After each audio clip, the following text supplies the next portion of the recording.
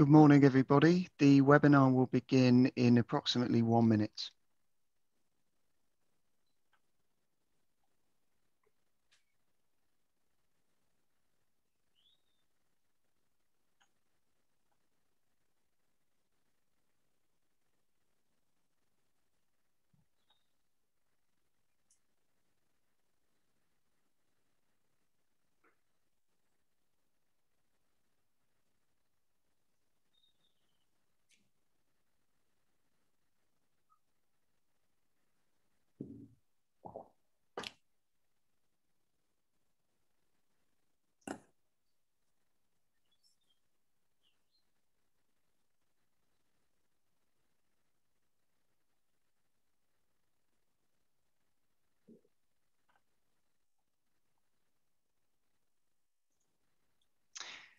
Hello, and thank you for joining us today for what promises to be a fascinating discussion on a very important and live topic. My name is Lewis Johnston. I'm the Assistant Director for Policy and External Affairs at the Chartered Institute of Arbitrators, and I'm very pleased to be chairing this joint CIArb Law Society discussion today with such a distinguished panel of speakers. CIARB is a global professional body for all forms of dispute resolution, and we promote and facilitate arbitration and ADR as an alternative means of redress to the courts. We provide training and accreditation, as well as professional practice guidelines and cutting edge insight on issues affecting arbitration and ADR. Our 17,000 members around the world operate across a wide range of practice areas, and our extensive branch network facilitates a global community and the effective exchange of ideas. We've been closely following developments in the Brexit process, including the question of UK re-accession to Lugano and the implications of the trade and cooperation agreement entered into in January this year, and the potential impacts of those uh, developments on legal services in general and arbitration and ADR in particular. As I said, we're delighted to be partnering with the Law Society of England and Wales today um, with uh, this event. The Law Society works to represent, support, and promote the interests of its members across the globe. It represents more than 160,000 solicitors from all branches of the profession, practicing as sole solicitors, in-house, in high street firms, and big international firms. Many of its members act for parties in arbitration and mediation, and many are arbitrators and mediators themselves. The Law Society has been working to evaluate the consequences of Brexit for its members and their clients since the referendum in 2016, and realised early on that dispute resolution was one of the crucial matters which could be adversely affected by the UK leaving the EU. It has been striving since to make sure a coherent and certain system of dispute resolution is available to all advocating the UK rejoining of Lugano. It also recognises the importance of having a wide panorama of means of dispute resolution available and the fundamental role held by arbitration in the landscape of redress for, for parties. I'm delighted that we're, uh, we're able to partner with the Law Society today, uh, and I'm also delighted that many in our audience uh, are, are from uh, either members of the Chartered Institute or, or indeed the Law Society, or indeed both. Uh, so welcome uh, and thank you for joining us. Clearly, these are, are very important issues we're discussing. Uh, the status of the UK with regards to Lugano remains unresolved. And as many of you will already know, the European Commission last month advised against allowing, to, allowing the UK to rejoin Lugano. This isn't the end of the story. The final word is now with the member states through the Council of, Euro of the European Union. Norway, Iceland and Switzerland have already made clear their support for re-accession. But some believe that other EU states see an opportunity here to challenge the UK's leading status as a dispute resolution hub. Our panelists today will discuss what this means, what the prospects of rejoining are, what the perspectives are from the UK and indeed from, from Brussels, and indeed to what extent it matters, um, particularly for, for arbitration. We will also discuss the wider question of Brexit and the Trade and Cooperation Agreement, including what it might mean for legal services in general and arbitration in particular. We may also touch upon the wider macro question of the competitive landscape for international arbitration, particularly in the wake of the publication of the latest White and Case uh, Queen Mary University of London International Arbitration Survey, again uh, last month. We want this to be a live discussion, so please do submit your questions using the Q&A button. We have set aside some time at the end of the session to address these questions specifically, but please do submit throughout. If your question is relevant uh, and lively enough, we will certainly throw it into the discussion at hand in real time, as it were.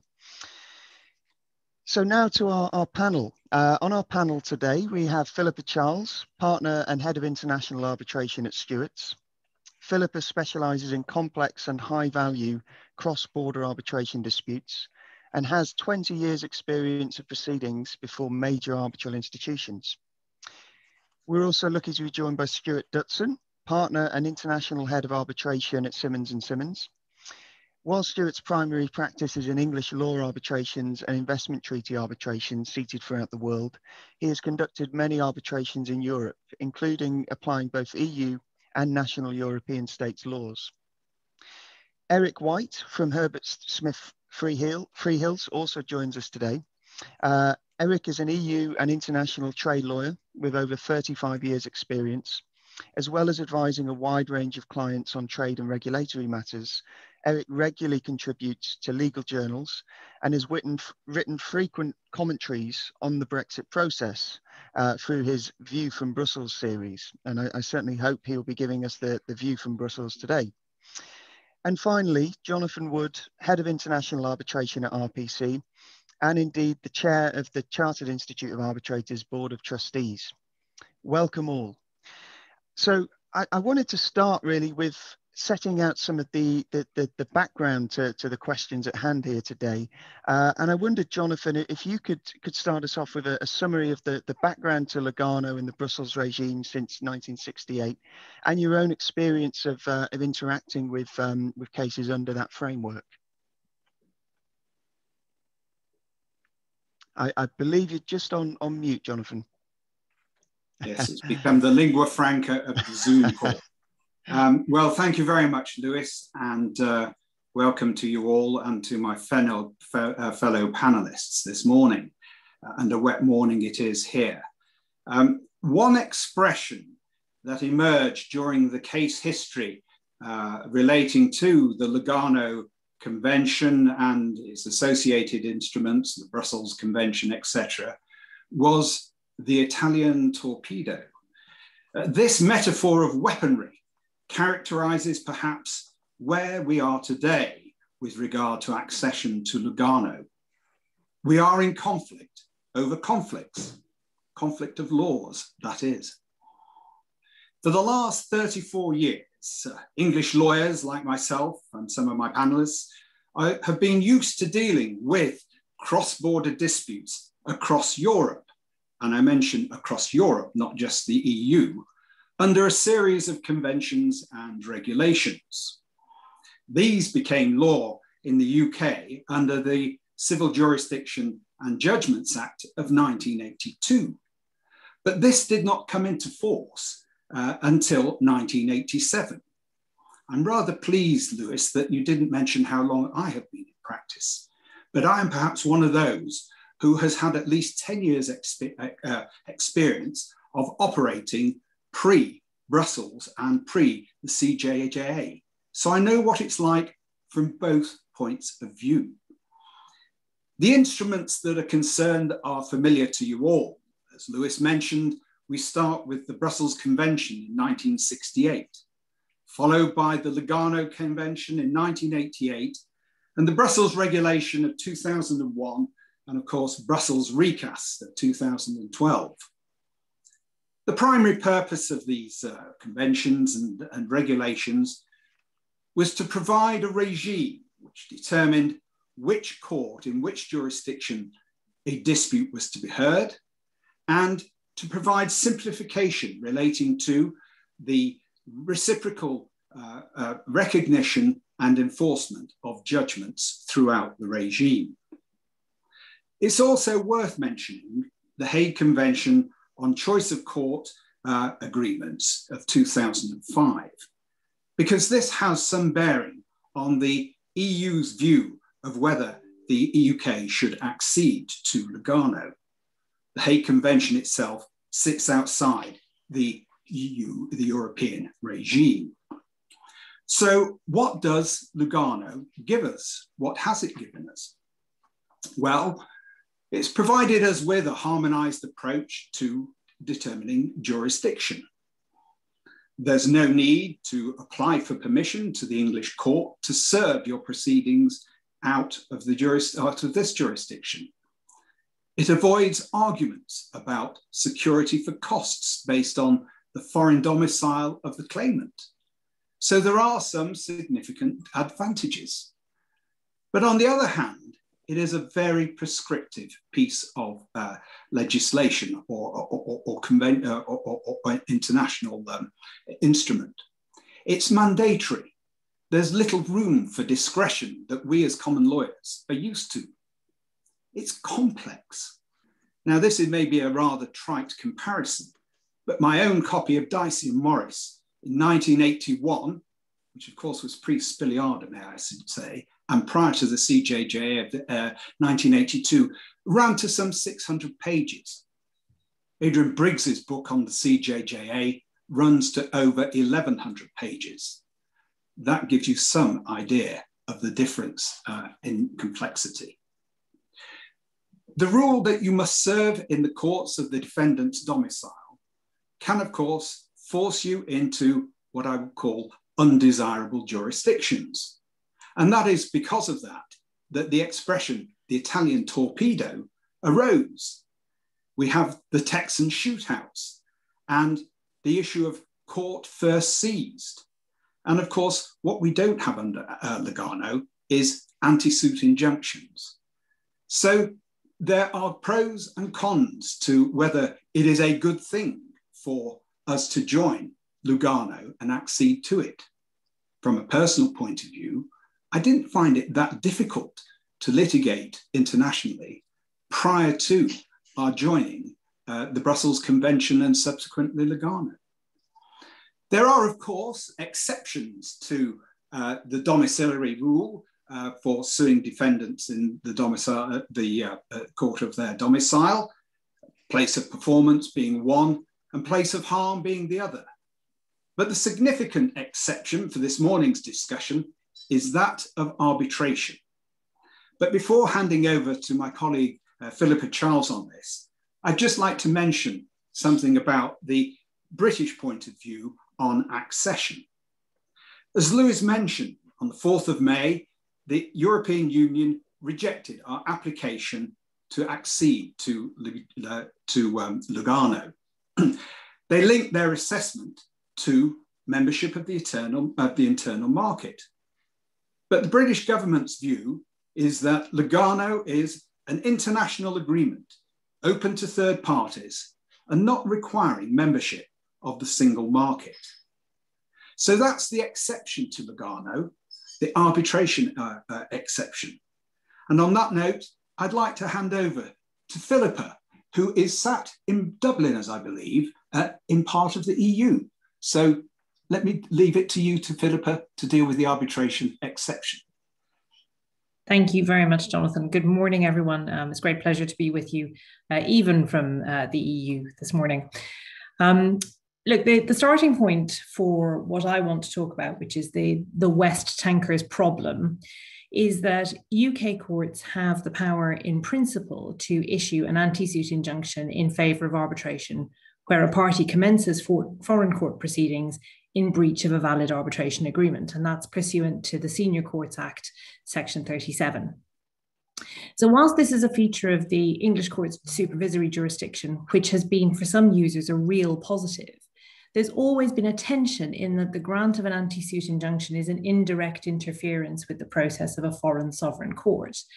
And that concept of comity and the, the allocation of responsibility between member states' courts within the structure of the EU came to the fore in the West Tankers case, which, although it's now more than a decade old, it remains a key authority on the approach to be taken by EU member states' courts to proceedings brought in an EU member state in breach of an agreement to arbitrate.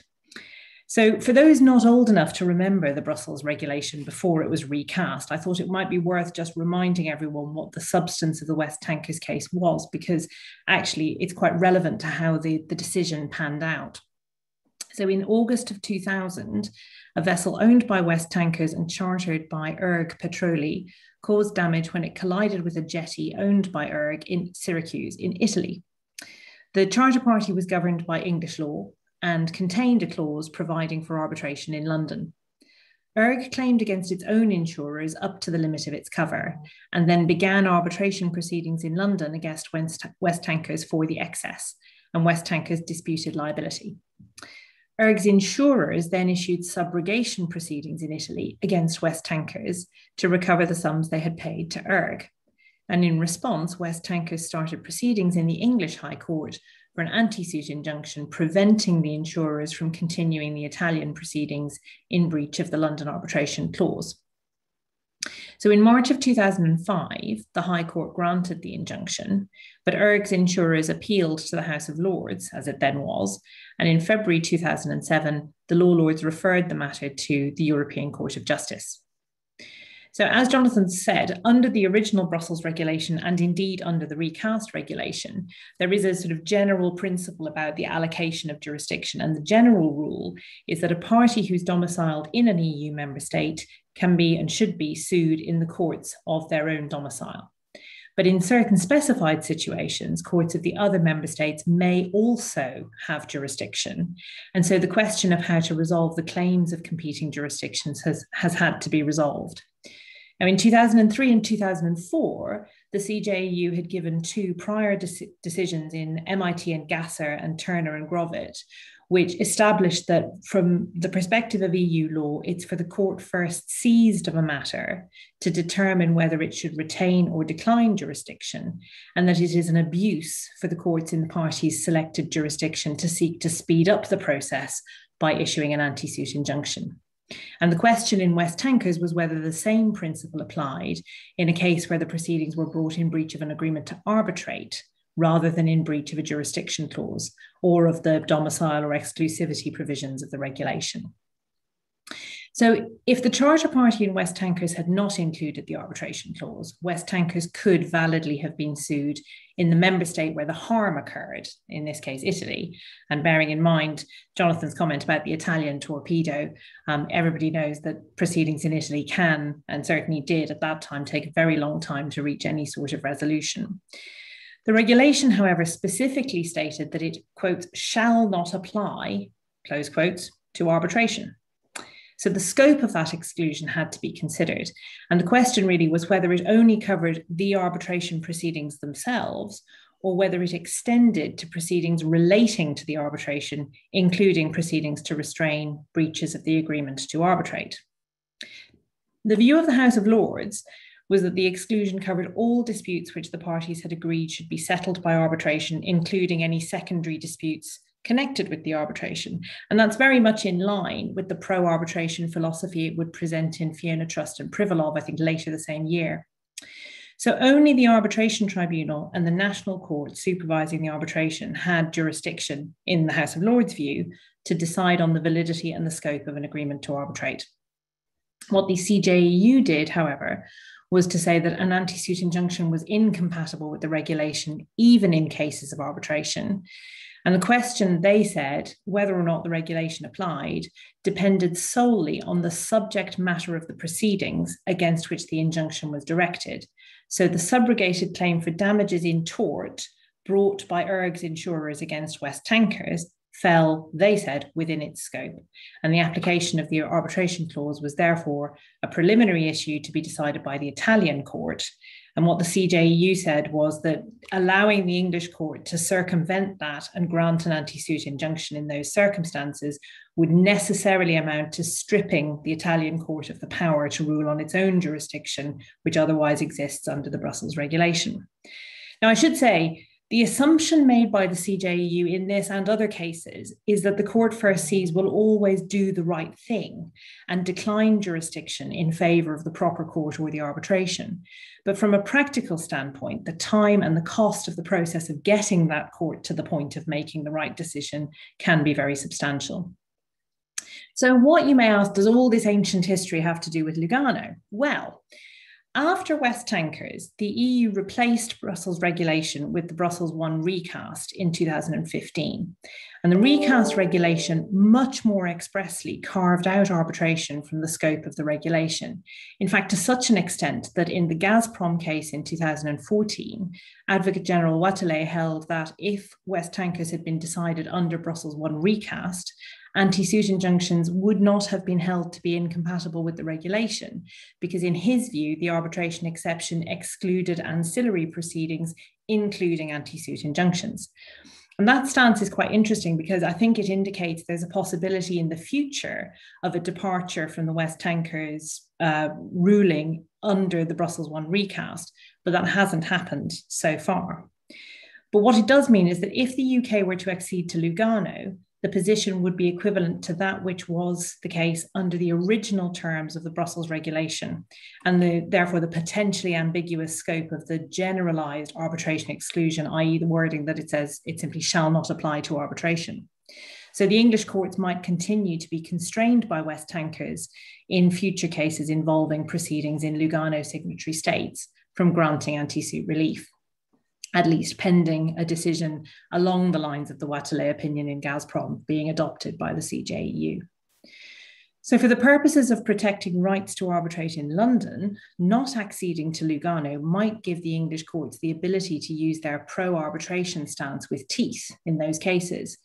And I think it's worth noting here that although a lot of the focus in commentary on the decision in Enka and Chubb in the Supreme Court last year was on the aspects which dealt with the test for establishing the governing law of the agreement to arbitrate, the case also concerned anti suit relief in relation to arbitration proceedings.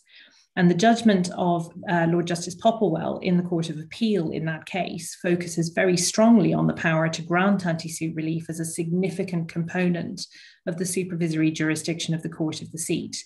So, where the seat is in England, that power could be exercised by the courts once outside of the constraint of EU and Lugano membership, even in cases involving EU and Lugano member states' courts.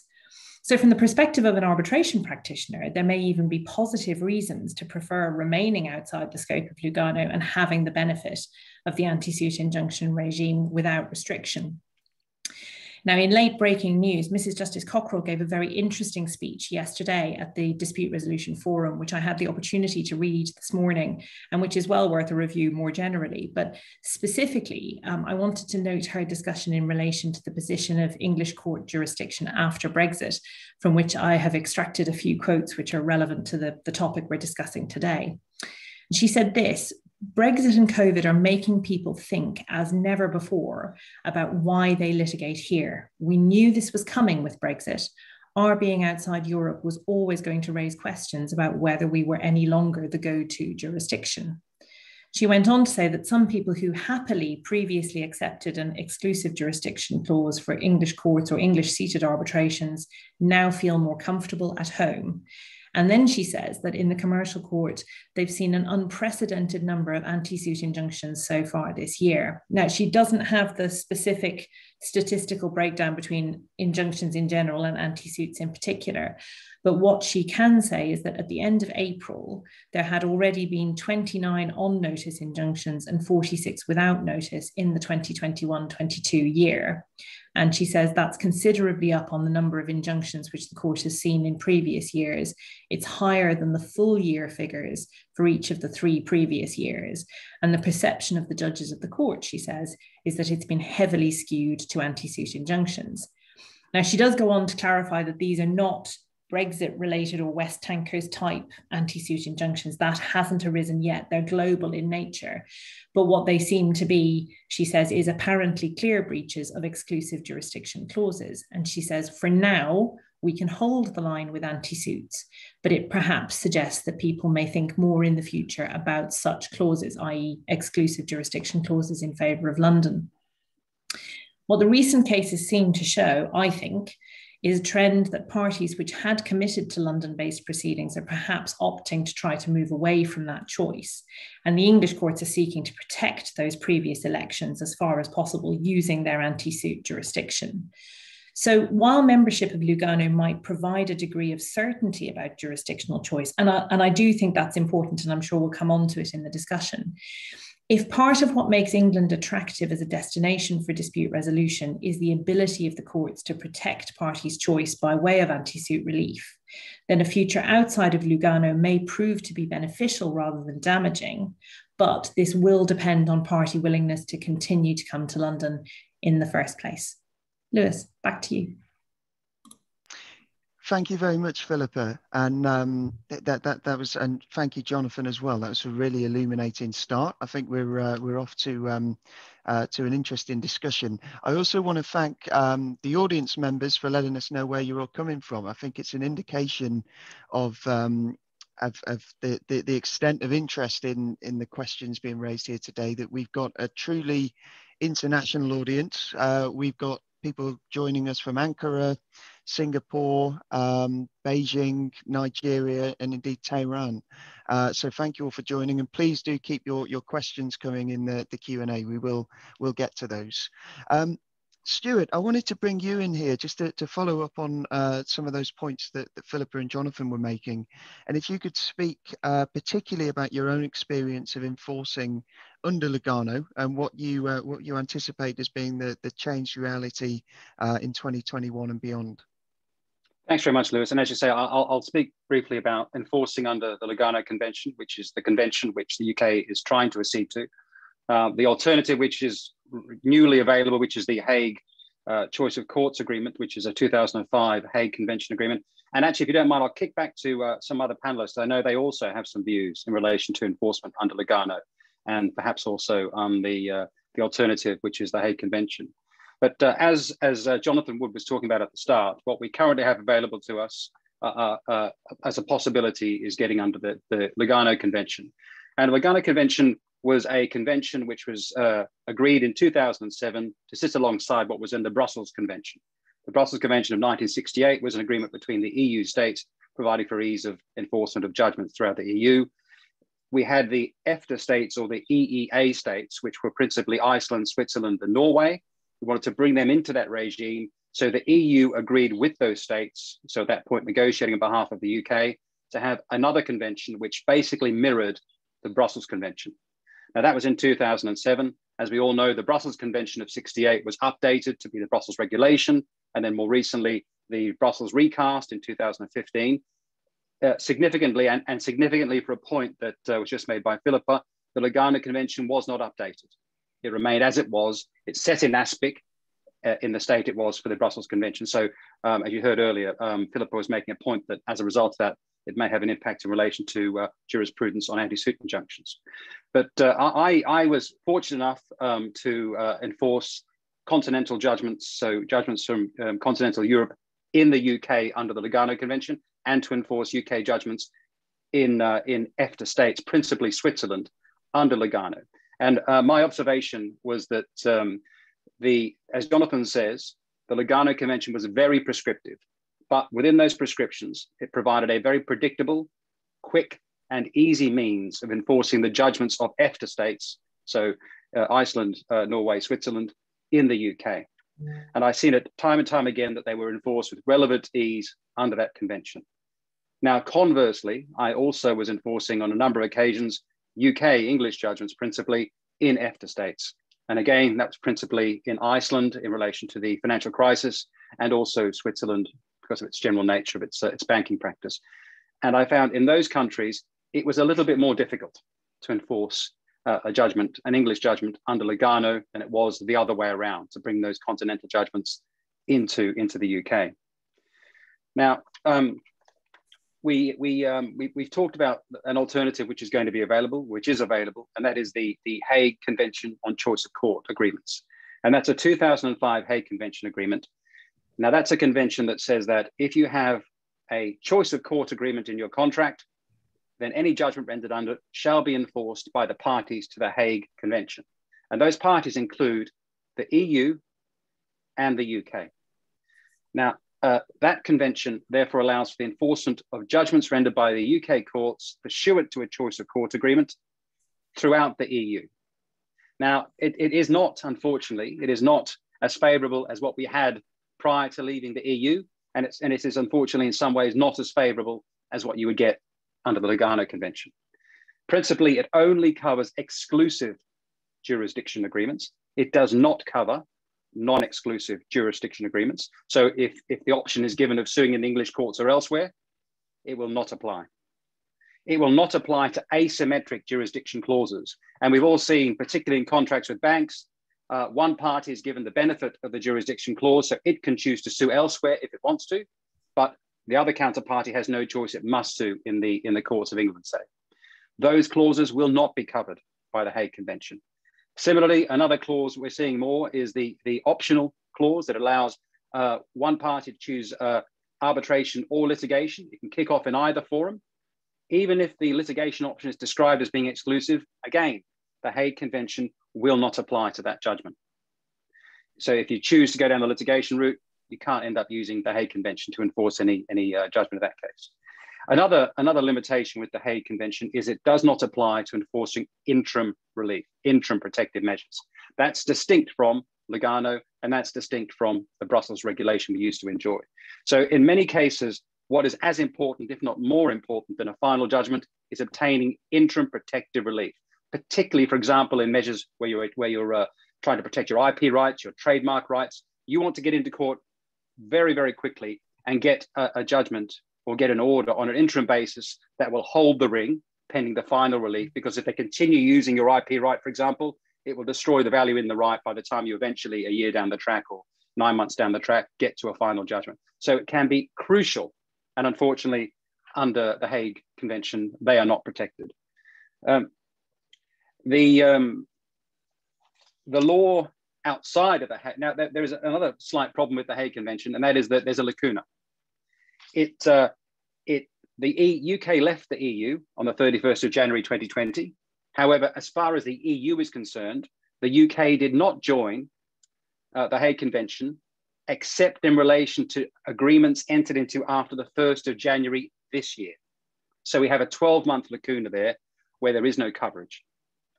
Now, um, another problem with the Hague Convention, and you forgive me if I go through problems rather than solutions, but another problem is that the methods for enforcing a judgment under the Hague Convention have not yet been determined by local courts. So there's no specific provisions or law on how you use the Hague Convention in their courts. They've signed up to the convention, but they haven't set out how it's employed. And I can tell you that outside, outside the Hague Convention, general law on the enforcement of uh, foreign judgments in some European countries can be very problematic. It can take a very, very long time to enforce a foreign judgment in some countries, including some you might not suspect. So, including countries such as uh, France, Germany, Italy may not be a surprise to some. But in addition, there are very significant problems enforcing foreign judgments in some of the Nordic countries, especially Denmark, Denmark and Finland. And so, with that, uh, and my, uh, uh I would just mention one final thing, which is the Hague Convention has also published a 2019 general Hague Convention on the Enforcement of Judgments, which applies not just to judgments rendered under contracts which have a choice of court agreement. But, and that would apply, it, it's not dissimilar to the Brussels reg, so it's quite expansive. The problem is that there are only three signatories, uh, and I think at last look, um, it was, yes, Israel, Ukraine, and Uruguay. And um, the problem with the Hague General Conventions is the US. Nobody wants to sign up to a convention where you can enforce a US judgment. So with that, can I ask um, Jonathan, I, I know you've got some interesting observations on enforcement under the Lugano Convention.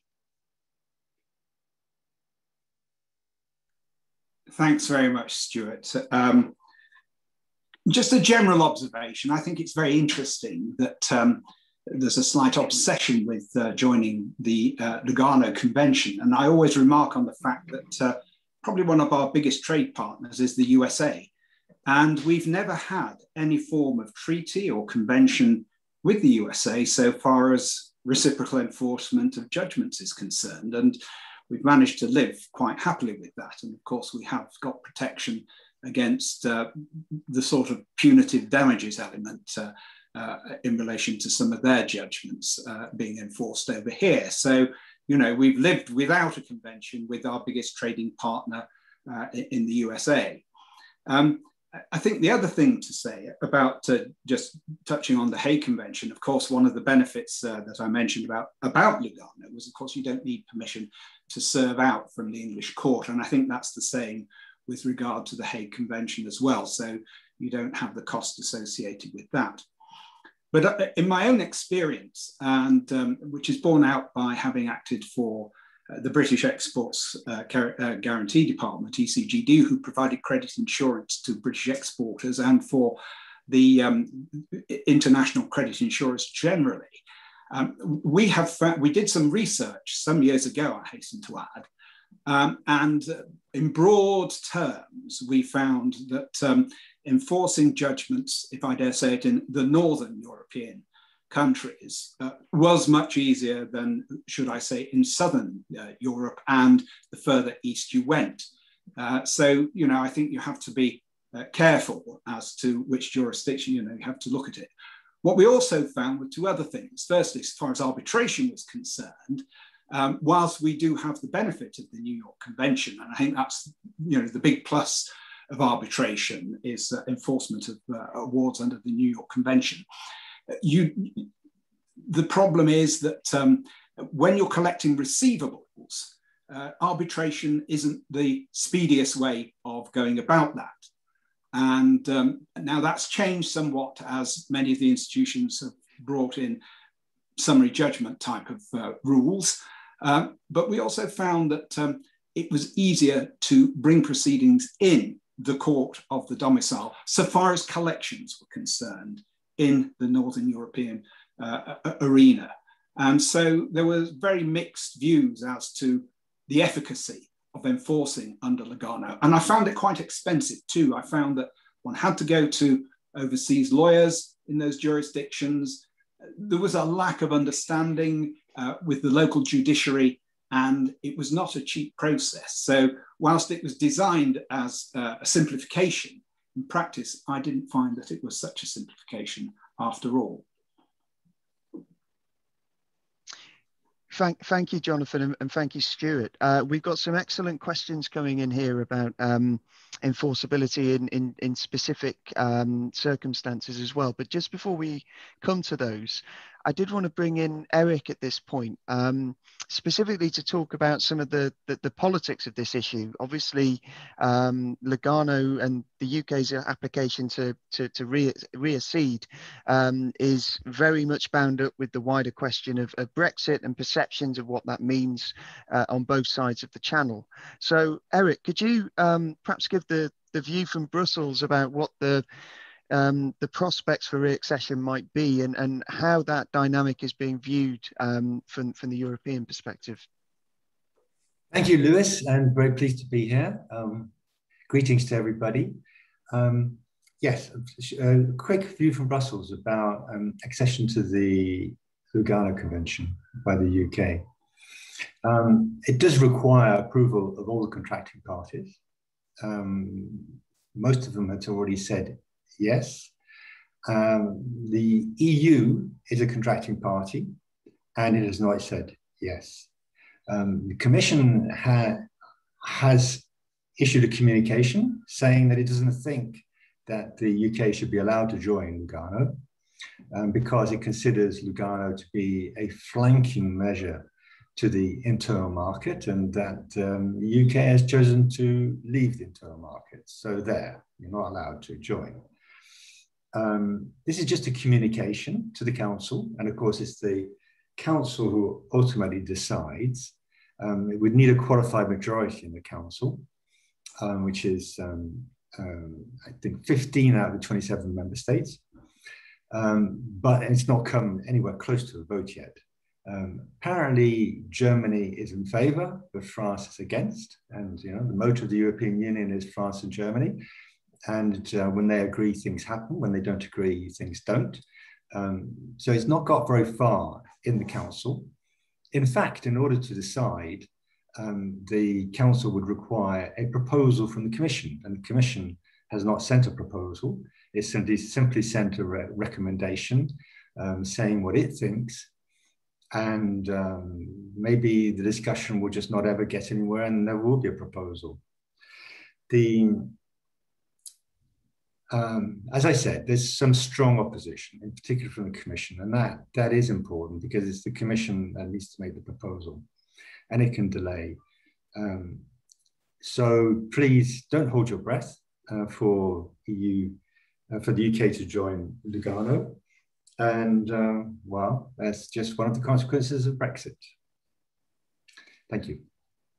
Thank, thank you, Eric. Um, I, I, think the, um, the, the, the different dynamics across the EU member states is a very interesting one as well, and does tap into that wider question of what Brexit means for the relative attractiveness of um, of different centres of, of, dispute resolution. I know uh, only in February the, the French uh, Justice Minister was talking about the um, the opportunity provided by by Brexit um, for, uh, for for France to take some of um, some of London's share of uh, of the market in, in dispute resolution, and uh, we know that those kinds of perceptions are uh, play play an important role.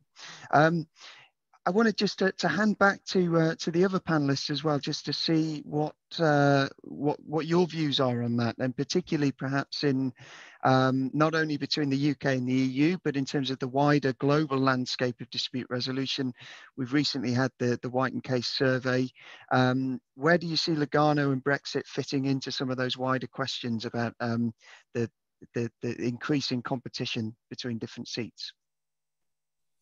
Shall I um, start with this. Um, Queen Mary has become, uh, you know, sort of almost the Bible uh, in relation to establishing uh, a league table as to, uh, you know, which is the most favorable jurisdiction in which to uh, arbitrate. I think, um, you know, we see headlines that uh, Singapore has risen up the ladder, perhaps ahead of Paris was, I think, the lawyer reported this recently.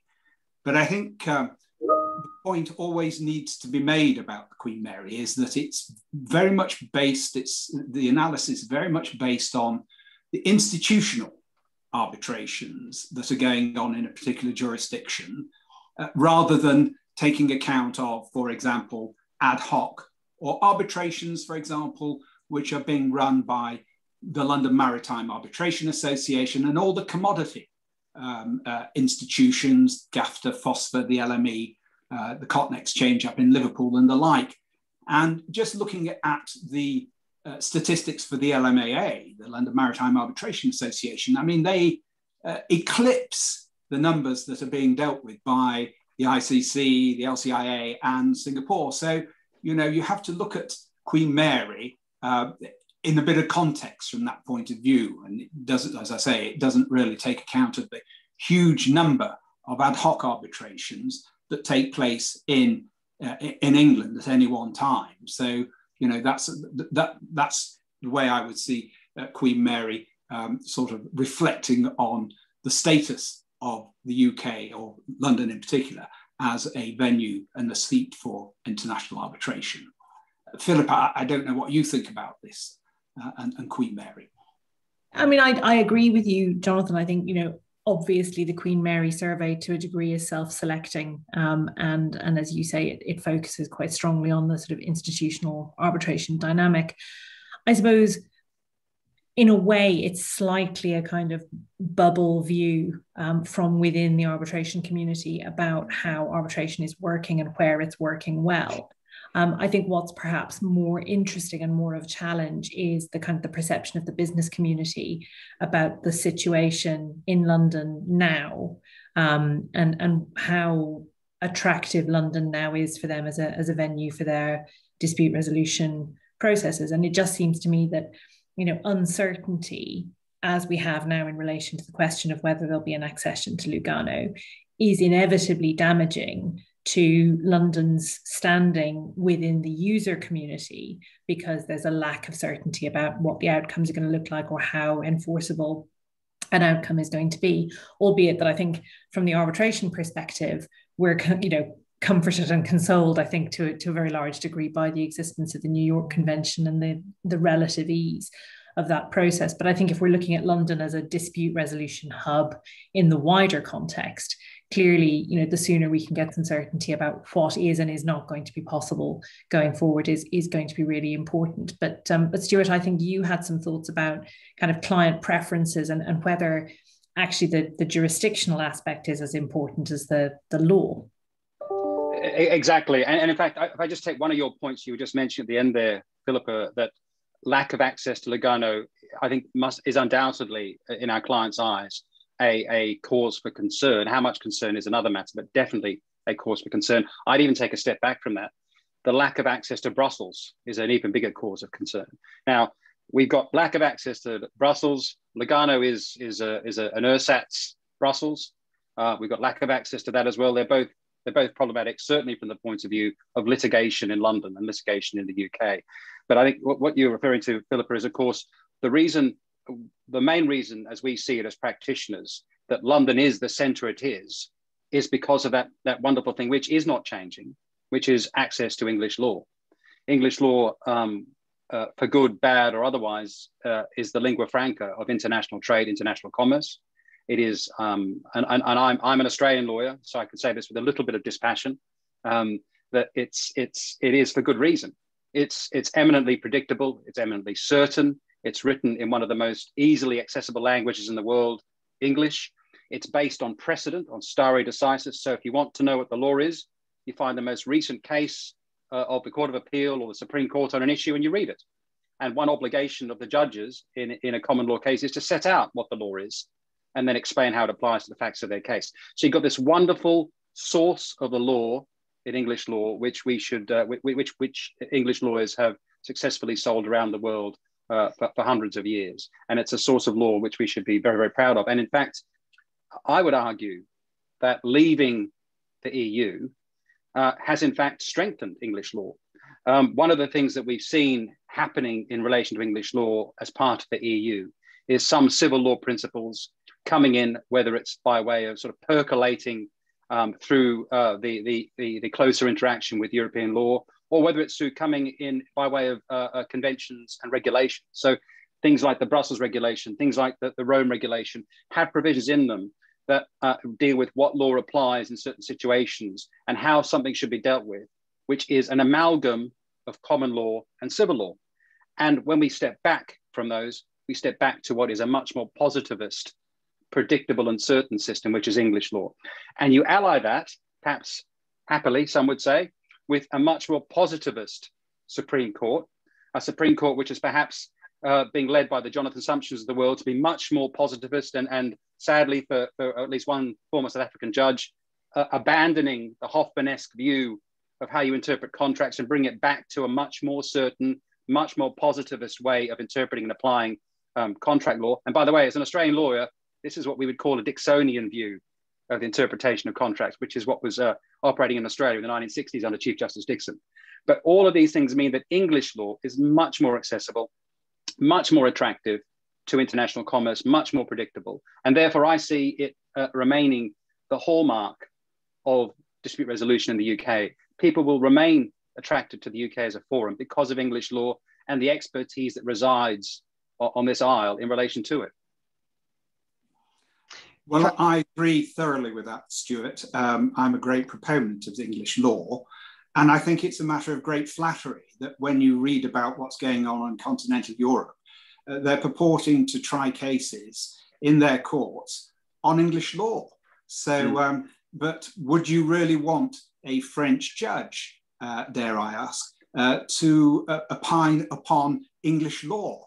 Uh, that raises an interesting question. But uh, English law has, uh, you know, as you say, has been adopted around the world in Abu Dhabi uh, and Dubai, in Kazakhstan, places like this, all adopting the English common law. And I think that is a great uh, credit to our system of law. And uh, there is an argument, and if anyone reads uh, something like the day, uh, the Sunday Telegraph, there was a very interesting article uh, by uh, Barney Reynolds of Shearman and Sterling, saying that um, the English common law uh, represents the best way to support the financial services market. And if we move to the civil law, that would represent a systemic risk to the financial services market. So English law has a great deal to commend it. And I think that is our great sell going forward. Uh, how that is undertaken, whether that will affect dispute resolution in the UK remains to be seen. Philippa, have you got a view? You've probably given it. I know, well, I, I think I have, and and yeah. you know, like I do think it's an advantage, but um, but you know, I think it what what will determine how successful all of this is i think is how well we bed in the future relationship with europe and how well that is presented to the business community as a stable structure within which to work um, and also for the benefit of consumers and individuals as well you know that's been a really important aspect for them and i think it's something that we can lose sight of in the discussion about commercial dispute resolution so how the new framework works between the UK and the EU, I think within that, you know, whether English law will continue to be a, a desirable thing, um, I think will, will depend on on the implementation. Mm. And, and I think we were talking uh, uh, as we came on the call, uh, Philippa, Jonathan, and I about what we're seeing our clients doing. And I, I noted that I, uh, at, at, my firm, we, we act for a number of the on, on a number of financial transactions where we see European institutions on the other side, and where in the past they would have said very we were very happy. In fact, we want English law, um, and they would have been uh, uh, prepared to accept uh, uh, London courts for dispute resolution. They're now saying no. We, we, see we have to go for English law, and they kind of see that they they say we're stuck with it because it's the only law that works for this transaction. Um, but we're not prepared to accept English courts anymore because you've left the club. So we're seeing English law with uh, a Paris-seated arbitration, uh, and we're seeing exploration of this this concept that Jonathan rightly noted a moment ago, which is continental courts applying English law and how that works, because they, they see the value in English law. And I should add, it isn't just the predictability of English law. English law can do things that some law systems cannot do. English law has is able to accommodate concepts of subordination, escrow, other complex financial products and, and uh, financial ideas, which simply find no basis in many civil laws. In fact, uh, Russia is constantly threatening to change its its uh, civil law system in many ways to replicate common law because Russian law simply cannot accommodate the kind of complex financial structures needed uh, and which can be created under English law. So um, increasingly seeing that and um, going back to a point you made earlier, um, um uh, Philippa, about people moving away from English courts and there being a risk of that. We're certainly seeing it in practice, but thankfully, given the point that you, you and Jonathan made earlier about um, the New York Convention, we're seeing arbitration being the uh, often a preferred mechanism in choice or instead of the English courts. Thank you, everybody. I, I, think that's an ideal point at which to switch to the, uh, the perhaps the wider lens question of the impact of Brexit and the TCA on legal services and um, and, and, arbitration in particular. And um, I wondered, Eric, if you could um, if you could start that discussion off um, just with your assessment of, uh, of, of what Brexit and the TCA specifically means. And just for, for the audience members, thank you. Keep keep the questions coming in. We will get to uh, as many as, as we possibly can uh, later in the session. Eric. Thank you, Lewis. Yes, this is a slightly different subject. Um, what actually does the TCA say about provision of arbitration services? Well, I think um, and you know, as, we, as has been clear from the earlier discussion, Brexit is going to have an impact on arbitration in many ways. Um, quite what the TCA says about provision of arbitration services is uh, another issue.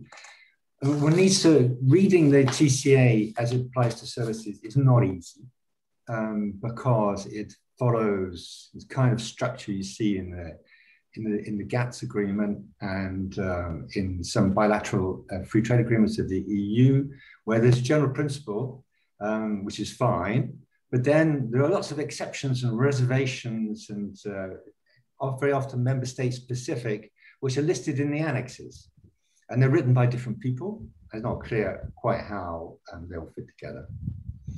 But it also, another feature is that the distinctions are made between the cross-border provision of services, that is over, over Zoom, if you like, uh, but also by correspondence more traditionally, or um, people coming to see you in your office. But where one part of the service is situated in one country and the other part is situated in another uh, or the service receiver is situated in another. Uh, this is cross-border supply. And their um, principle is freedom, uh, but with lots of exceptions listed in annexes. It's a negative list approach, is what is according to the jargon. It means that you need to look to see if there's an exception. For um, provision of services through the movement of people, as temporary presence in, a, in another jurisdiction, it's more complex in that um, it takes a, a, slightly different approach, positive a list approach. Um, the freedom has to be given by the agreement. It's not and just look for the exception. You have to positively be able to establish possibility to provide this service in the agreement. So, I mean, this is often called fly in, fly out, um, but the, the agreement distinguishes between different kinds. There's short-term business visitors, and there's a contractual service supply, and there's independent professionals are likely to be relevant here. it's all very different. For example, short-term business visits are allowed for 90 days in any six months period. Um, and for contractual service supply and independent professionals, you can come for longer. But for independent uh, professionals, for example, you must first of all have six years professional experience before you can qualify for providing the service within the terms of the um, agreement. There's also in the uh, TCA a separate um, section, section seven of chapter five of the services part. So it's all very much divided up, um, which is uh, about the regulatory framework. And so it sets out a few regulatory principles to apply. But okay, so it's a complex um, situation. Uh, so I think you need to establish whether a service can be provided in principle. Secondly, whether there is an exception, a reservation. And then another matter is these are just reservations of permitted restrictions. It doesn't mean to say that the restriction will be applied. So you need to also establish whether the country actually uh, applies the restrictions which it's allowed to apply. And then, of course, one needs to look to see about um, licensing and qualification requirements. Can you give advice on local law or just on your own law, um, on EU law or international law? I'll come to this in a second. But I think um, as arbitrators, you're interested in two services. And here, again, there's a distinction. There's arbitration itself, that is acting as an arbitrator. And then there's what's termed legal arbitration services, which is defined in the agreement uh, as, as being the preparation of documents or the appearance before lawyers. So this is what um, legal advisors do in an arbitration. And these are dealt with differently. So the service of arbitration itself, acting as an arbitrator, is not addressed in TCA. So it's only the general principles that apply. Um, there's a lot said, however, about the, about the provision of legal arbitration services, that is, acting for a party, pre preparing its documents and appearing for it. Now, on let's let's first of all consider cross-border provision. So um, you are writing documents uh, for submission to an arbitration, which has its seat somewhere in the EU um, for a client in the EU. Um, what is what are the restrictions applicable there? Well, it's often assumed that not very much, and in practice, it's true that not many restrictions are actually applied.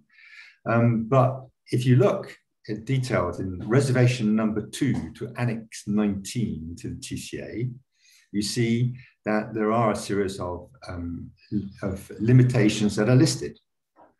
So Hungary, for example, seems to clearly prohibit cross-border supply of legal arbitration services. Cyprus and the Czech Republic impose residency requirements, which of course, if applied, uh, effectively prevent provision of the service cross-border. Um, Spain and Portugal require a professional address, which is less than residency. You just have to have a friend as a lawyer who will forward mail to you. Um, and um, Slovakia and Slovenia say that they require reciprocity, which probably in the case of the UK is not a problem, um, but it is there. And of course, as I said, because it's cross border and it's difficult to actually enforce these restrictions, you know, how is um, Hungary going to stop a, a, a, a UK a, lawyer in London from providing services um, if he doesn't come to if he doesn't come to Hungary? The next issue then is um, cross-border uh, is, is movement of is temporary presence. So I think for temporary presence, it's fair to say that there are additional restrictions. I mean, coming into a territory is something which countries regulate more, purpose of which you can come. It requires work, work visas, for example. So Austria appears to prohibit it. Um, saying it says expressly that um, legal services on foreign and international law can only be provided cross-border. So you're not allowed to come and practice. And um, so Germany and France reserve the practice of legal services to members of their bars. Um, quite how much they apply that is another matter. Bulgaria, Estonia, Greece, Hungary, Latvia, Malta uh, have residence or even nationality requirements, and they reserve it to EEA national, um, EEA residents or Swiss residents or EEA nationals in some cases. And so this would prevent the provision of services through temporary presence for UK established lawyers. Others do allow for exceptions to be granted. Of course, you need to see that the exception is granted. Portugal and Spain does that, for example. So having got over that those hurdles, you know, can this service be provided? Uh, can the member state impose a restriction? There's then the often quoted um, dedicated section on regulated services. Um, that, though, contains a wrinkle because the definition of legal, legal um, arbitration services seems to apply seems, seems to exclude the provision of services through temporary presence. So uh, that whole section, which is said to liberalize provision of legal services, will only apply to cross-border provision, if that's correct, and not to presence through local presence, not to uh, provision through local presence. So the situation is not as liberal as it might appear at first sight uh, looking at the agreement. But it's not really safe to just rely on the, the agreement because it, for each of the countries concerned, there's a reference to the national law concerned. So it says, you know, restrictions in my national law will continue to apply. So you need to see exactly what that national law says. And again, uh, these are possibilities. They don't; these restrictions don't actually have to be applied. Now, as Lewis mentioned at the beginning, and the Law Society is actually doing a study on the restrictions on the provision of, of the practice of law after Brexit as a result from the TCA. I mean, uh, one um, one reflection of the fact that it's it's rather it's not as simple as it appears is the fact that this is still work in progress. I mean, it's not done yet. I've seen a draft. I've seen some of the some of the um, things that are said, but um, in many cases, they say they're still verifying. So can I, you know, can I draw some conclusions out of this um, not very clear situation? Um, so first, there do there, there don't seem to be any, any restrictions expressly um, provided on the provision of arbitration services, that is acting as an arbitrator. Um, and clearly, and you know, some countries are more welcoming than others for that. And yeah, for legal arbitration services, it's acting as a lawyer in an arbitration. Um, there are fewer there are fewer restrictions when the subject matter of the arbitration relates to non-domestic and international law. So if the arbitration is about U, uh, is governed by UK law and international law, it's more often possible um, for a lawyer to, from the UK to act. Uh, there, they allow, the rule is to allow practice under your national treatment, uh, under your national title. However, the agreement does make clear that EU law is not international law. It is part of the domestic law of EU lawyers, but it is not part of the domestic law of, e, of, of UK lawyers. So UK lawyers are not allowed to, um, to, to give advice on EU law. Third conclusion is that the practice, um, judging from what the Law Society is saying, is much more liberal than the reservations indicate. Um, and cross-border provision, fly in, fly out, apparently um, happens a lot. US lawyers coming in and giving arbitration services. And so some countries say, well, actually, you're not allowed UK lawyer come in here and provide your services. And it's pointed out, well, US lawyers are doing it all the time. So please let me in as well. Um, and that's one of the things the Law Society is trying to get to grips with the, the conflict between uh, what the law appears to say and what happens in practice.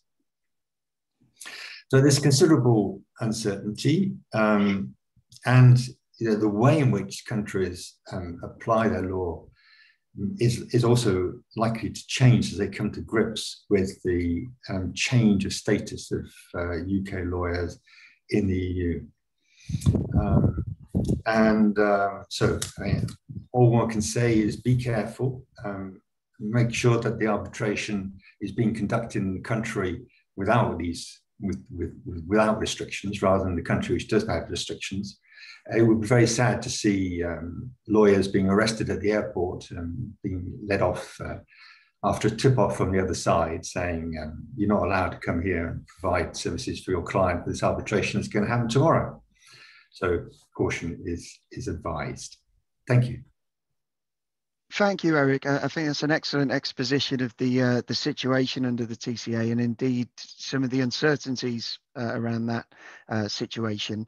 Um, I know there are different views around the panel on um, what this might mean in practice, and I, and I, I, know we won't be able to give a comprehensive picture, but I wondered um, if we could start with Philippa just on um, how you see um, some of this operating and some of the obstacles that we may uh, that that the practitioners may hit in different countries of the EU.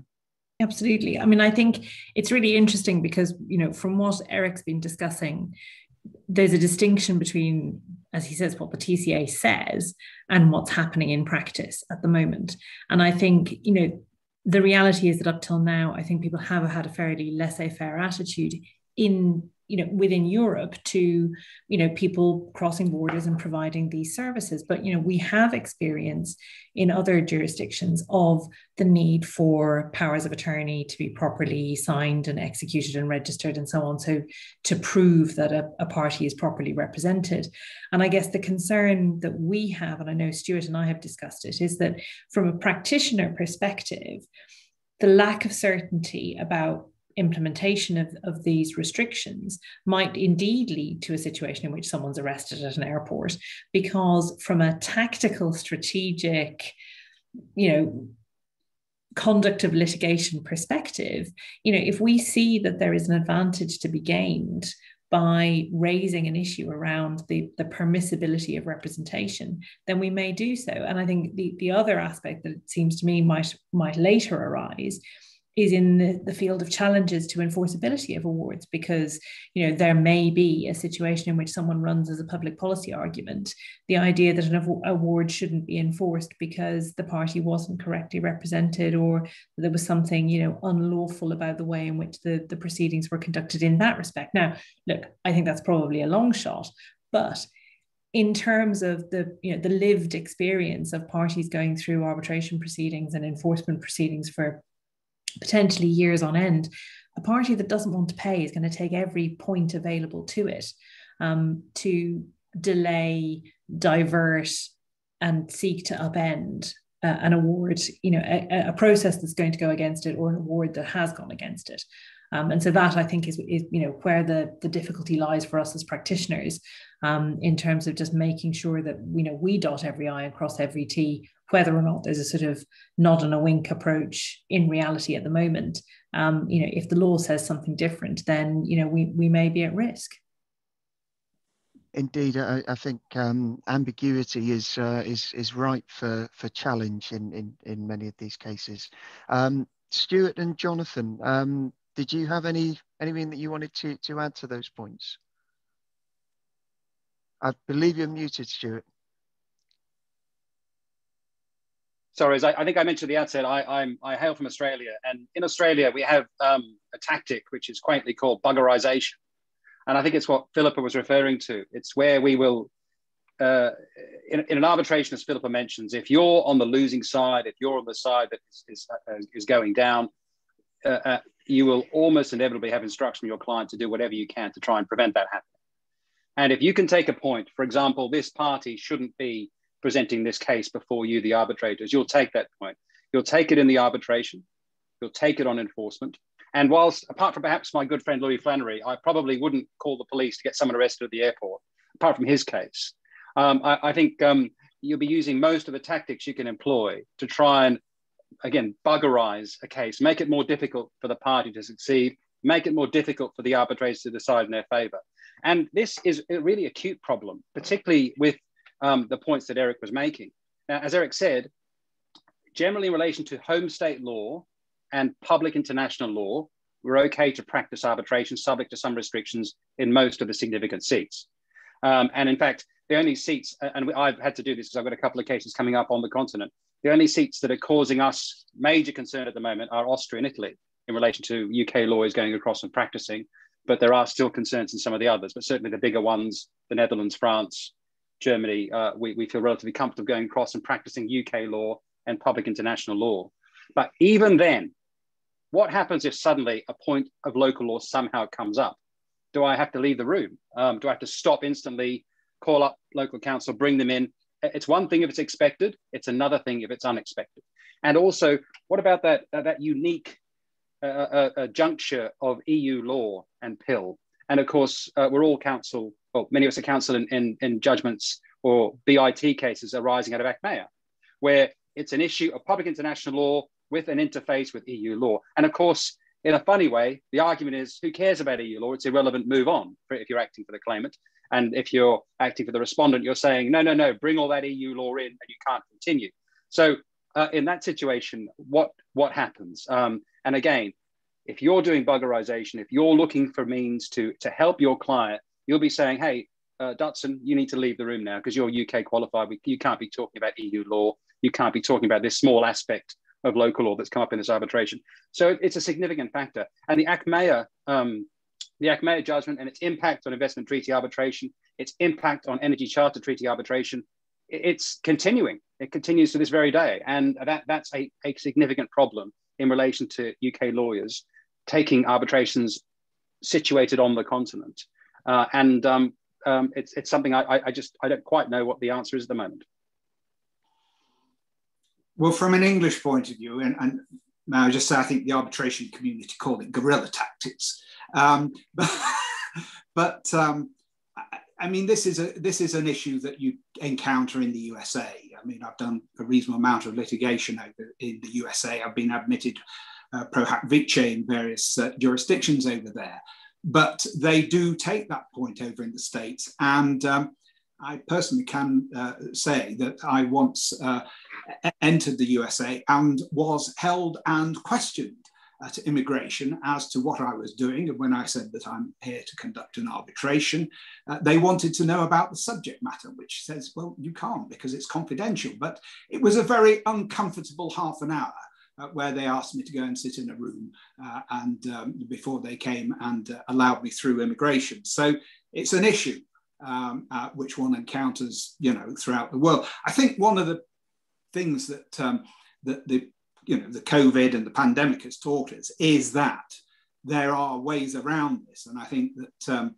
you know uh, we have seen arbitrations now being carried out, you know, sort of online, uh, virtually. Mm with great success. And so, you know, uh, uh, and arguments have been raised as to whether that in itself um, uh, raises a problem about, you know, the ultimate enforceability of an award. But there are ways around of doing this by, by, by conducting arbitrations on a virtual basis.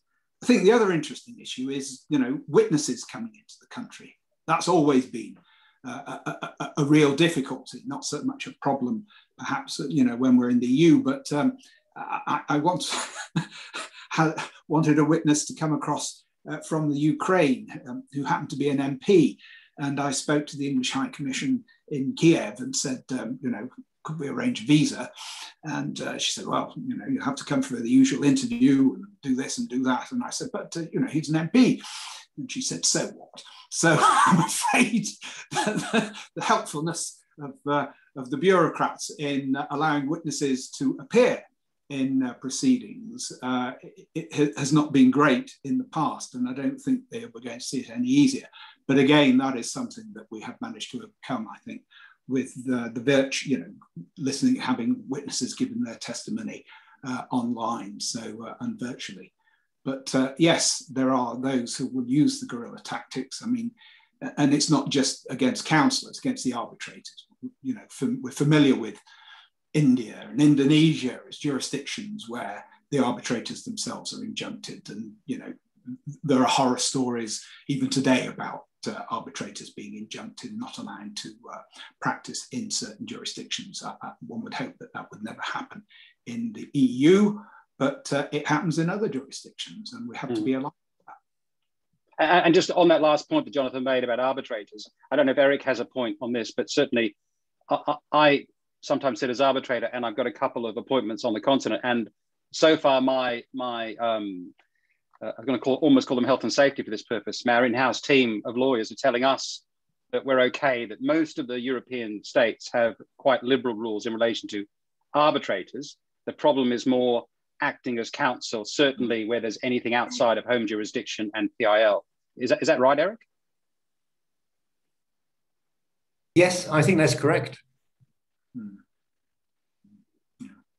So I think going forward, you know, we're just going to have to work with local correspondent lawyers. Um, you know, we got very used to that in certain jurisdictions, but not necessarily throughout the EU. But we're probably back to doing that again. Um, you know, uh, in the future. Um, so you know, the fly in, fly out. I mean, London is notorious as a fly in, fly out destination. I'm hoping that uh, we remain open and welcoming to all comers to conduct their arbitrations here. Um, whether that is the, we get the same welcome is afforded on the continent remains to be seen. I think. Mm. And I, I do I do wonder whether the sort of the shift to virtual hearings at the moment that's a short-term solution and it certainly prevents the kind of you know being picked up at the airport point. Um, but I, I do wonder whether in the longer term you know there will be steps taken to try and regulate bypassing what is otherwise a kind of you know a, a legitimate concern to protect um, you know parties dealing in, in those jurisdictions from you know lawyers effectively cheating the system by working virtually only um, you know, as Eric said, you know, the provision of service is the provision of service cross border, whether you're doing it virtually or in person. Yeah, um, it's ne- it's nevertheless the same the same setup. So I, whilst I think it provides a practical workaround at the moment, I, I think one, one can't assume that that by itself is going to be sufficient protection for the the validity of the process as a whole, um, and that's something that we do need to work with. But you know, I agree with you, Jonathan. I think you know we historically have have always worked with local co-counsel exactly to make sure that we had proper representation in the room if a local law issue came up that we needed to address um, and that's obviously the right thing to do from you know from a client perspective and from a security of the process perspective. Um, so it may be that it'll actually lead to greater cross-border working and contacts with, you know, with our colleagues in Europe, and, and that can only be a good thing, I think. I always tell the anecdote when I turned up in Dubai once, uh, my advocate turned up and he said to the judge, uh, Mr. Woods come all the way from England to tell you about this case. I thought it was his job. So you just have to be careful how you instruct your local correspondent. but I, I, agree wholeheartedly with the point, the last point that Philippa was making there. Um, looking, I, I too wondered about using virtual hearings as a way to get around some of these concerns. But I think uh, there's a serious risk, again, going back to what, what Jonathan calls guerrilla tactics and I might call buggerization. If, if you're in London and you're presenting to us an arbitration seated in the EU and you start going into EU law or local law, I think um, there's a serious risk that um, uh, opposing counsel will say you can't do that. You may be sitting in London, but this is a, an arbitration not seated in London. This is an arbitration seated in the EU, and therefore you can't be talking about EU law. So step away from Achmea you can't be talking about local law. So step away from that little bit you mentioned there on whatever law it is. Um, you shouldn't be doing that. Uh, and and it's it, I think you're right. It's going to it's going to accelerate good practice in the way that Jonathan and, and Philip have described. It's going to accelerate us working much more closely with, with other counts and other jurisdictions, whether our own offices or if we don't have one, someone else, to make sure we're covering these, these things, not just in compliance with the TCA and local uh, restrictions, but also good practice and, and what we should be doing in any event. I, I, think um, the, this question around virtual hearings and the use of technology is a, a, neat segue into a, an audience question that we've had from, from Ben Giaretta, um, which asks, should we be focusing more on on-chain dispute resolution with automatic enforcement rather than older enforcement mechanisms or conventions? In, in other words, is, is this whole discussion um, rather 20th century? I, would be interested to, um, to hear everyone's views on that. Well, I am 20th century, so I'll, uh, I'll let Philippa and uh, Stuart talk about that. oh, nice dodge there, Jonathan. Yeah, well, I mean, yeah, I'm very 20th century myself, but um, but no, I mean, look, I, I, I do think there will be mechanisms in the future that will bypass some of these issues, absolutely. But I think if you look at the amount of on-chain dispute resolution that's currently happening, it's relatively small. I'm sure it will increase. Um, you know, there is pressure for it to do so. You know, people are adopting these new ways of working all the time. Um, you know, cryptocurrency, um, you know, issues are are starting to really proliferate now. Um, you know, not just in terms of kind of the, the the aspects of cryptocurrency that are specific, but also their use in commercial transactions. Um, so if you have an automatic mechanism for enforcement, then so much the better, and that's that's great. But I think we're always going to have the kinds of traditional cases where you're going to need to take your award and enforce it somewhere else you're going to need to do um, you know work in different jurisdictions along the way. And so i think you know the certainty and the streamlining of those approaches is is going to be important. And and as i say i mean i think from the arbitrator's perspective you know the new york convention at the moment provides a pretty good code for that um, and hopefully will continue to do so even in more sort of modern types of disputes um, but you know, for the moment, the you know the status of English court judgments and the enforceability of English court judgments is something we're going to have to wrestle with, and we can't simply assume that it's going to be business as previous. Um, and so I think there's a there's a pretty steep learning curve for us, and you know, and we're we're going to need to do that work and get familiar with those those challenges um, to be effective for our clients. I think it's very important to make this point, and that is even if we don't accede to the Lugano, you can and will be able to enforce English judgments in European countries. You know, that is not taken away from us. Uh, we go back to the old systems. There are certain treaties in place with some of these uh, some of these countries. Norway's one of them, for example.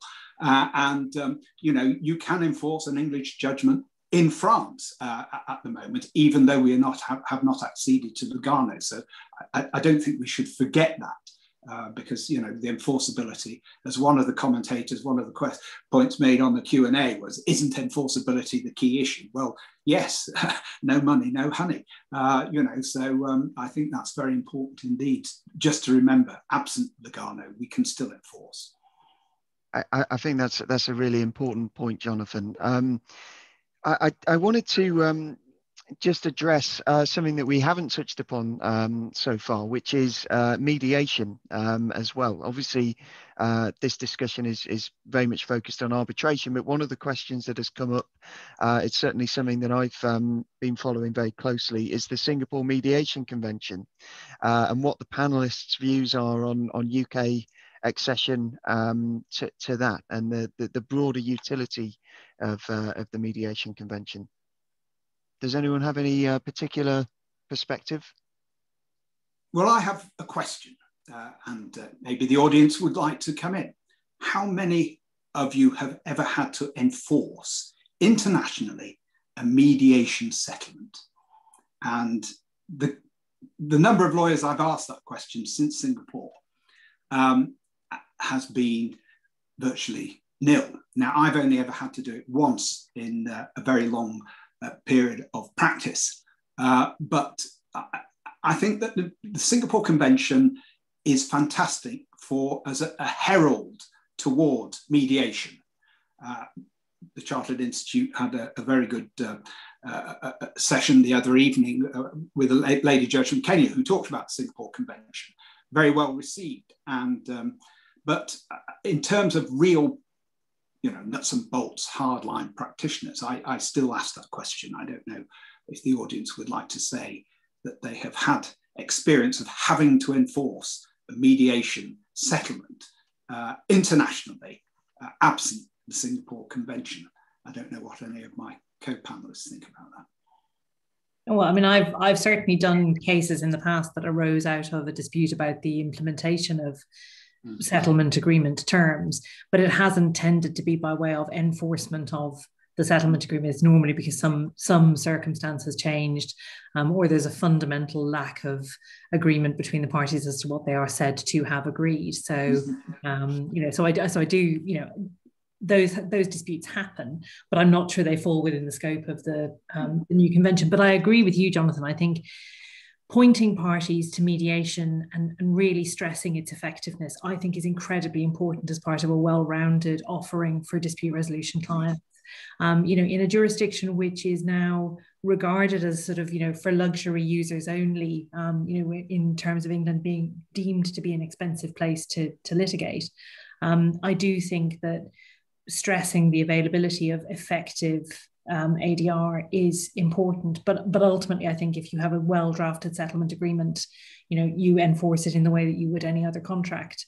Um, and I'm not sure that you need the mediation convention for that, but I do think it serves the right purpose, as you say, for, for giving parties comfort that, that that is something that is recognised and enforceable and not simply an ephemeral um, attempt to, to resolve disputes. Yeah, I, I, agree with everything you said, Philippa. And I, I note that um, if, if what the Singapore Convention is trying to do is encourage mediation in, in international disputes, that's a, that's a great and very worthy motive in arbitration, which most of the people on this call are specialists in, if we have a mediated solution within an agree within an agreement that provides for arbitration or within an extant arbitration, we'll most likely reduce it to a consent award. And so then we have the benefits of the New York Convention to enforce that. Okay, it's a it's a mediated settlement, but it's then reduced to an award, which you can then enforce under the New York Convention. Um, so I see I see the New York the Singapore Convention as being perhaps more apposite in, cases where there's litigation in the agreement or, or an arbitration hasn't been started, um, and you can you can get the benefits of the Singapore Convention um, to a mediated settlement in those cases. But um, I, I, think so. So you know, it, it's probably another thing that helps a bit in light of uh, the UK leaving um, leaving the EU and maybe not having access to Lugano for a mediated settlement in a case arising where there's no arbitration ability, you, have got you've got the Singapore Convention. And I, as I think I recall, whilst the UK is not proposing yet to sign up to the Singapore Convention, um, if you're if you're a UK party and you have a settlement that provides that, that's to be performed in a country that has signed up, you can still take action in that country, notwithstanding that you're a UK resident and you and the UK itself has not signed up to the Singapore Convention. I, I think that's uh, that they're all very good points, and particularly that the distinction between the role of the convention in normalising, in inverted commas, uh, mediation uh, as a settlement mechanism, and actually fulfilling the uh, the role that perhaps the New York Convention does for arbitration, which is obviously a very different um, kettle of fish.